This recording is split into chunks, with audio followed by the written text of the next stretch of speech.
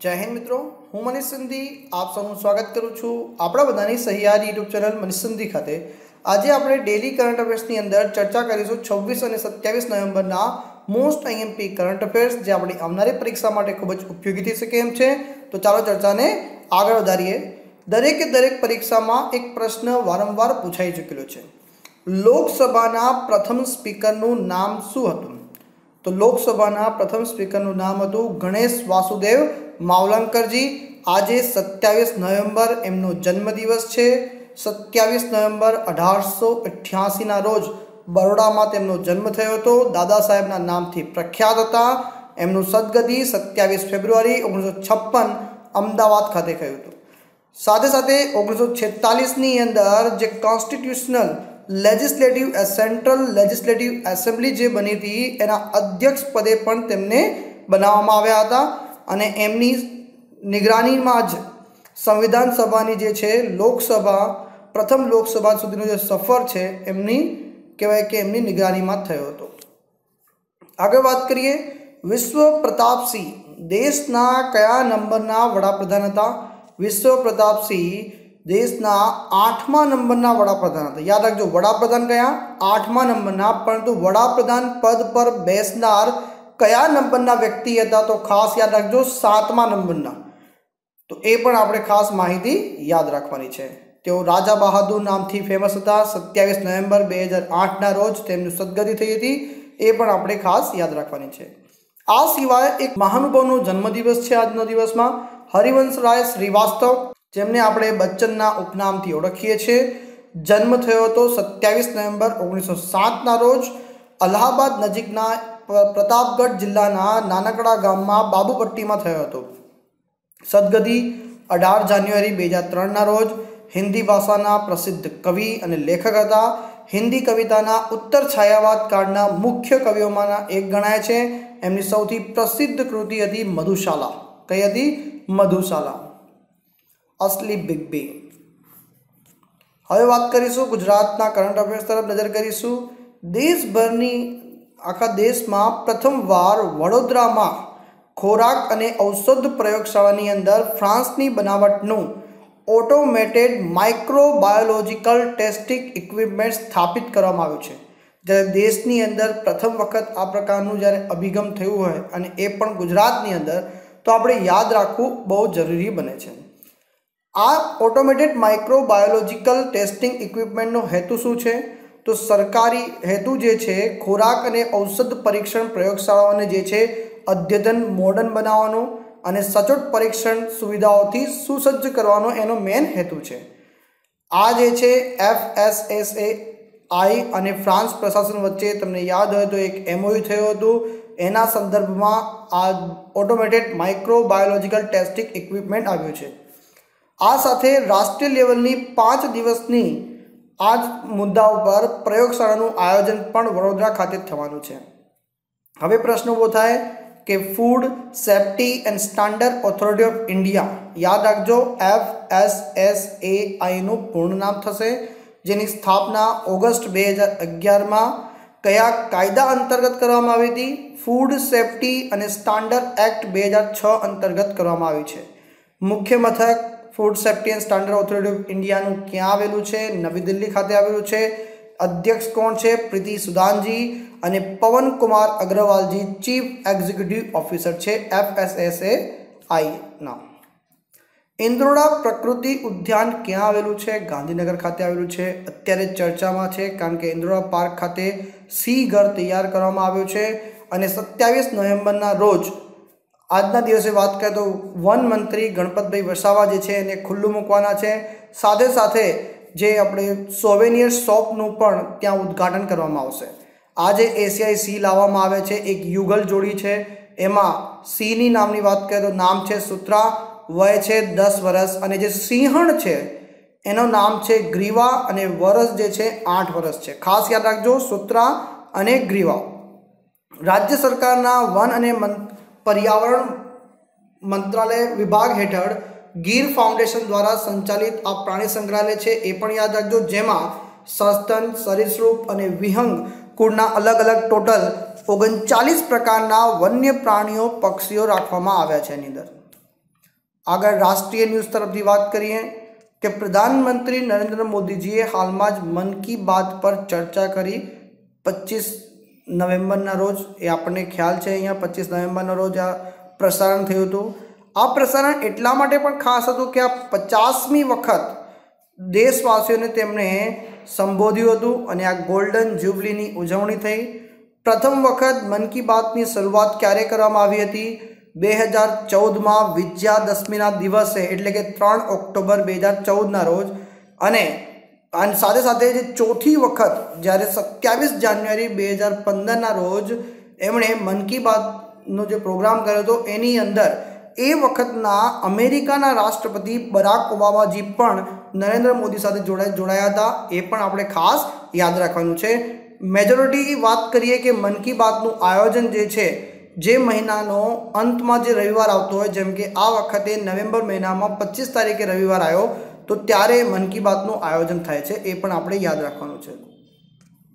કયા દિવસને બંધારણ દિવસ તરીકે ઉજવવામાં આવે છે, તરીકે મનાવવામાં આવે છે, તો છવ્વીસ નવેમ્બરના દિવસને આપણે બંધારણ દિવસ તરીકે મનાવવામાં આવે છે. છવ્વીસ નવેમ્બરના રોજ આપણે રાષ્ટ્રીય milk day, national milk day પણ ઉજવીએ છીએ. કોની યાદમાં?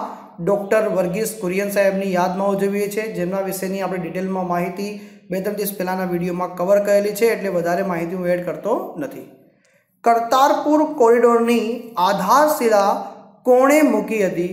તો કરતારપુર કોરિડોરની આધારશિલા જે છે આપણા ઉપરાષ્ટ્રપતિ એમ વેંકૈયા નાયડુજી દ્વારા રાખવામાં આવી છે. હાલમાં જ આની જાહેરાત કરવામાં આવી હતી. કેન્દ્રીય મંત્રી નીતિન ગડકરીજી આ પ્રસંગે સામેલ હતા. પંજાબના મુખ્યમંત્રી અમરિંદર સિંહ પણ સિંહ પણ સામેલ હતા. રાજ્યપાલ, જેમાં ચીફ ગેસ્ટ તરીકે હતા વીપીસી બદનોરે અને કેન્દ્રીય મંત્રી હર્ષસિમરત કૌર બાદલ પણ હાજર હતા. અયોધ્યામાં સરયુ નદીના કિનારે ભગવાન શ્રીરામની કેટલા મીટર ઊંચી મૂર્તિ બનાવવામાં આવશે એવી જાહેરાત ઉત્તર પ્રદેશના મુખ્યમંત્રી યોગી આદિત્યનાથ દ્વારા કરવામાં આવી છે કેબિનેટની નિર્ણય પછી. તો ટોટલ આની હાઇટ જે હશે બસો એકવીસ મીટર હશે. જેમાં મૂર્તિની ઊંચાઈ તો એકસો ને એકાવન મીટર હશે, પર આ મૂર્તિ ઉપર વીસ મીટર ઊંચો છત્ર હશે અને પચાસ મીટરનો આધાર બેઝ બનાવવામાં આવશે. આ સાથે ટોટલ ઊંચાઈ થઈ જશે બસો ને એકવીસ મીટર. આદિ મહોત્સવની ચોથી આવૃત્તિનું આયોજન ક્યાં કરવામાં આવ્યું? તો આદિ મહોત્સવની ચોથી આવૃત્તિનું આયોજન નવી દિલ્હી ખાતે કરવામાં આવ્યું. વાર્ષિક રીતે યોજાતું રાષ્ટ્રીય જનજાતિ મહોત્સવ છે. આદિ મહોત્સવ, જેની ચોથી આવૃત્તિનું આયોજન નવી દિલ્હી ખાતે કરવામાં આવ્યું. જનજાતીય બાબતોના મંત્રાલય દ્વારા કરવામાં આવે છે આનું આયોજન. અને અત્યારે જ્યુઅલ રામ ઓરામજી જનજાતીય બાબતોના મંત્રાલયના મંત્રી છે. રાષ્ટ્રીય કેડેટ કોર દિવસ ક્યારે ઉજાય છે? એનસીસી દિવસ ક્યારે ઉજવાય છે? દર વર્ષે નવેમ્બર મહિનામાં ચોથા રવિવારે. ક્યારે? દર વર્ષે નવેમ્બર મહિનામાં ચોથા રવિવારના દિવસે એનસીસી દિવસ ઉજવવામાં આવે છે. પંદર જુલાઈ ઓગણીસો અડતાલીસના રોજ, એટલે કે ઓગણીસો અડતાલીસમાં ના રાષ્ટ્રીય કેડેટ કોર અધિનિયમ અંતર્ગત પંદર જુલાઈ ઓગણીસો અડતાલીસના રોજ એનસીસીની સ્થાપના કરવામાં આવી હતી. એક બીજી રોચક માહિતી એ છે, નવેમ્બર ઓગણીસો અડતાલીસના છેલ્લા રવિવારના દિવસે દિલ્હીમાં પ્રથમ એનસીસીની રચનાની જે અધ્યક્ષતા જે છે, ભારતના પહેલા વડાપ્રધાન જવાહરલાલ નહેરુ દ્વારા કરવામાં આવી હતી. ખાસ વસ્તુ એનું જે વાક્ય છે, એનસીસીનું મોટો જે છે, એ આપણે યાદ રાખવાનું છે, એકતા અને અનુશાસન. એટલે એકતા અને શિષ્ટાચાર, એ પણ આપણે યાદ રાખવાનું છે. રમતગમતના ક્ષેત્રથી વાત કરીએ, ડેવિસ કપ કઈ રમત સાથે સંકળાયેલ છે? તો ડેવિસ કપની રમત એ ટેનિસની રમત સાથે સંકળાયેલ છે. રોચક માહિતી એના વિશે છે. ડેવિસ કપ બે હજાર અઢારના ચેમ્પિયન કોણ બન્યા છે? ક્રોએશિયા દેશ બન્યું છે. આનું આયોજન ક્યાં કરવામાં આવ્યું હતું? ફ્રાન્સની અંદર કરવામાં આવ્યું હતું. અને ખાસ ક્રોએશિયાએ ફ્રાન્સને હરાવીને ડેવિસ કપનું ચેમ્પિયન બન્યું છે. આમ ક્રોએશિયા તેર વર્ષ પછી ફરી વખત ચેમ્પિયન બન્યું છે. આ પહેલાં બે હજાર પાંચમાં પણ સ્લોવેકિયાને હરાવીને પ્રથમ વખત ડેવિસ કપ જીત્યો હતો. આમ, ક્રોએશિયાએ બીજી વખત ડેવિસ કપ જીત્યો છે. ખાસ યાદ રાખવાનું છે આપણે કે ડેવિસ કપ જે છે, ટેનિસમાં પુરુષ વર્ગની ટીમ ઇવેન્ટ છે. કઈ પુરુષ વર્ગની ટીમ ઇવેન્ટ છે? તમને યાદ હોય તો ફિફા વર્લ્ડ કપની અંદર ફ્રાન્સે ક્રોએશિયાને હરાવીને, યાદ રાખજો, ફ્રાન્સે ક્રોએશિયાને હરાવીને બીજી વખત ફૂટબોલનું ટાઇટલ જીત્યું હતું. અહીંયા ક્રોએશિયાએ બદલો લઈ લીધો. ટેનિસમાં ફ્રાન્સને હરાવીને બીજી વખત ડેવિસ કપ જીતી લીધો છે. સૈયદ મોદી આંતરરાષ્ટ્રીય ચેમ્પિયનશિપ કઈ રમત સાથે સંકળાયેલ છે? તો એ બેડમિન્ટનની રમત સાથે સંકળાયેલ છે. સૈયદ મોદી આંતરરાષ્ટ્રીય બેડમિન્ટન ચેમ્પિયનશિપ બે હજાર અઢાર એની અંદર અહીંયા ન્યૂઝ આવ્યા છે કે ભારતના સ્ટાર શટલર સમીર વર્માજીએ સૈયદ મોદી આંતરરાષ્ટ્રીય ગ્રાન્ડ પિક્સના સિંગલનો ખિતાબ પોતાના નામે એટલે કે ગોલ્ડ મેડલ પોતાના નામે કરી લીધો છે. ટાઇટલ મુકાબલામાં તેમણે ચીનના ક્વાંગઝુને હરાવીને આ ટાઇટલ પોતાના નામે કર્યો છે. સમીરજીની વાત કરીએ, સમીર વર્માજી કઈ રમત સાથે સંકળાયેલા છે? બેડમિન્ટનની રમત સાથે સંકળાયેલા છે. સતત બીજી વાર આ ટાઇટલ પોતાના નામે કર્યું છે. સૈયદ મોદી આંતરરાષ્ટ્રીય બેડમિન્ટન ચેમ્પિયનશિપની વાત કરીએ તો મહિલા સિંગલ્સની જો વાત કરીએ તો એની અંદર ભારતના સ્ટાર શટલર સાયના નેહવાલજીને સિલ્વર મેડલથી સંતોષ માનવો પડ્યો, જ્યારે મહિલા વિભાગની અંદર ચેમ્પિયન થયા છે ચીનના Han Yue Han Yue Syed Modi international badminton ચેમ્પિયનશિપના નવા ચેમ્પિયન બન્યા છે. આ આગળ પહેલાં પણ બે હજાર નવ, બે હજાર ચૌદ, બે હજાર પંદરની અંદર સાયના નેહવાલજી આ ટાઇટલ જીતી ચૂક્યા છે. એમની પાસે મોકો હતો કે ચોથી વખત આ ટાઇટલ સૈયદ મોદી આંતરરાષ્ટ્રીય બેડમિન્ટન ચેમ્પિયનશિપની જો વાત કરું, તો ભારતમાં વાર્ષિક ધોરણે તેનું આયોજન થાય છે. ઓગણીસો ને એકાણુંમાં ઉત્તર પ્રદેશ સરકાર દ્વારા કોમનવેલ્થ ગેમ્સના ચેમ્પિયન સૈયદ મોદીની યાદમાં આ ટુર્નામેન્ટની શરૂઆત કરી હતી. આ ટુર્નામેન્ટનું આયોજન એક સ્ટેડિયમમાં થાય છે. સ્ટેડિયમનું નામ આપણે યાદ રાખવાનું છે. બાબુ બનારસી દાસ ઇન્ડોર સ્ટેડિયમ, જે લખનઉ, ઉત્તર પ્રદેશ ખાતે આવે છે. ત્યાં દર વર્ષે આનું આયોજન થાય છે. એક વખત માત્ર બે હજાર નવમાં આનું આયોજન હૈદરાબાદ ખાતે કરવામાં આવ્યું હતું કારણોસર. પરંતુ દર વર્ષે આનું આયોજન લખનઉ, ઉત્તર પ્રદેશ, બાબુ બનારસી દાસ ઇન્ડોર સ્ટેડિયમમાં કરવામાં આવે છે. બે હજાર ચારથી પહેલાં સુધી આ જે છે, નેશનલ લેવલની સ્પર્ધા હતી. બે હજાર ચાર પછી એ આંતરરાષ્ટ્રીય ઇવેન્ટ બની ગઈ બની ગઈ છે અને બે હજાર નવમાં આને badminton world federation grand prix ઇવેન્ટની અંદર સમાવેશ કરવામાં આવેલો છે. આગળ વાત કરીએ જિમ્નાસ્ટિક વિશ્વ કપનું આયોજન ક્યાં થયું હતું? તો જિમ્નાસ્ટિક વિશ્વ કપનું આયોજન જર્મની દેશમાં થયું હતું.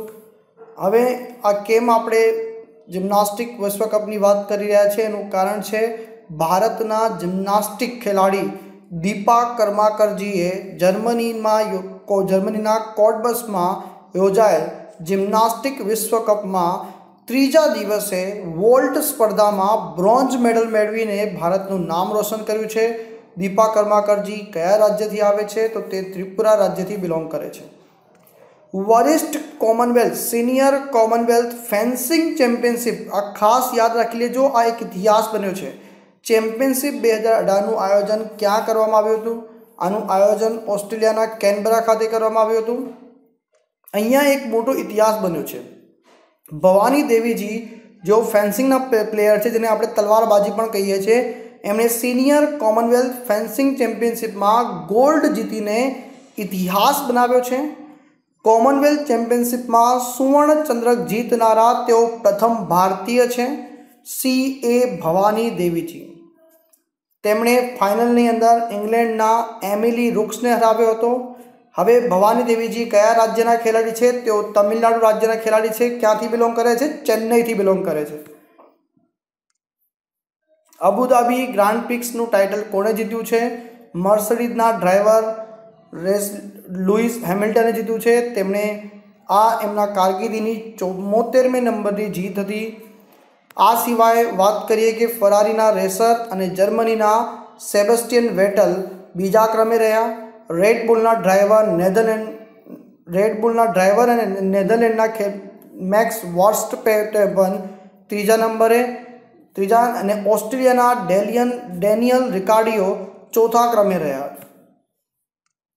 મહિલા ટી ટ્વેન્ટી વર્લ્ડ કપ બે હજાર અઢાર, ઇંગ્લેન્ડને પરાજય આપીને ઓસ્ટ્રેલિયા વિજેતા બન્યું છે.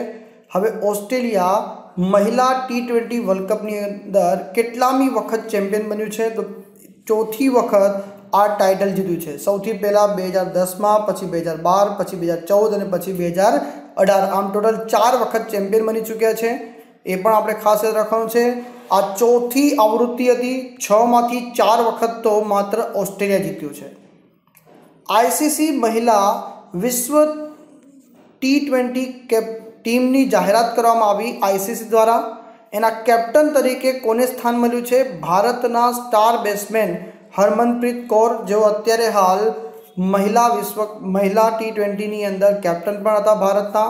આ સિવાય સલામી બેટ્સમેન સ્મૃતિ મંદાના અને લેગ સ્પિનર પૂનમ યાદવજીને પણ આ ટીમની અંદર સામેલ કરવામાં આવી રહ્યા છે. આ ટીમ ઓફ ધ ટુર્નામેન્ટ એટલે કે આઈસીસી મહિલા વિશ્વ ટી ટ્વેન્ટી જેને ટીમ ઓફ ધ ટુર્નામેન્ટ તરીકે કહેવામાં આવે છે, એમાં સમાવેશ પ્રાપ્ત થયો છે. તો ફ્રેન્ડ્સ આ હતા આજના દિવસના મોસ્ટ આઈએમપી કરંટ અફેર્સ આશા રાખું છું તમને આ વીડિયો પસંદ આવ્યો હશે. ફ્રેન્ડ્સ વીડિયો પસંદ આવ્યો હોય તો વીડિયો નીચે એક લાઇક બટન આવે છે. એને પ્રેસ કરજો. તથા વિડીયોને અન્ય મિત્રો સાથે શેર કરવાનું ભૂલી ન જતા મિત્રો. ચેનલને સબસ્ક્રાઇબ કરવાનું બાકી હોય તો સબસ્ક્રાઇબ કરી લેજો અને આ નોટિફિકેશન બેલ આઇકોનને પ્રેસ કરવાનું બાકી હોય તો એને પ્રેસ કરજો, જેથી દરેક વિડીયોની નોટિફિકેશન તમારા સુધી પહોંચતી રહે.